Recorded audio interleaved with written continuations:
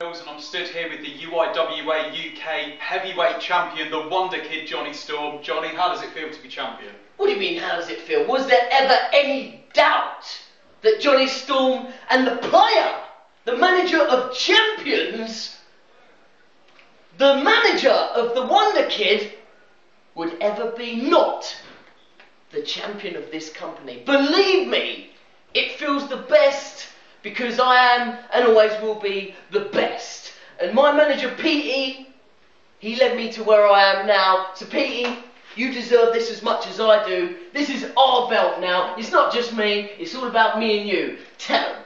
Do you know what, Jonny? Certain things in this life you remember. You remember when your son's born. You remember when your daughter's born. And you remember when one of your best friends in the business wins a world heavyweight title. It is a pleasure to be by your side, and it is quite simply